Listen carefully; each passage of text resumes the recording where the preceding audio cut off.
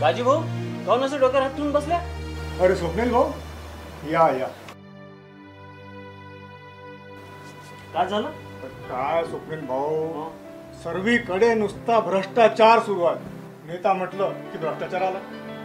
मग तो आमदार खासदार झाला की त्याच्या कंपन्या बँका हे संस्थानिकत असतात आणि त्याच्यामध्ये करोडो रुपयाची अफरातफर होत असते. जे आपण आपल्या आजूबाजूला बघतोच. पण आता असं नाही होणार भाऊ.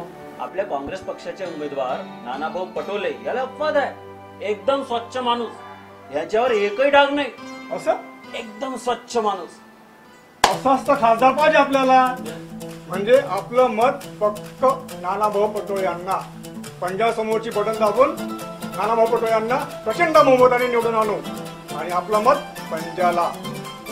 मी नेहमीच समाजातील मागास गोरगरीब व अठरा पगड जातीतील सामान्य भल्यासाठी काम करीत आलो. हीच माझी राजकीय व सामाजिक जीवनातील ताकद आहे. मी ही ताकदच मला या निवडणुकीत विजय करेल याची मला खात्री आहे. स्वच्छ छबीचा नेता नाना भाऊ पटोले चला प्रचंड बहुमतांनी विजयी करूया.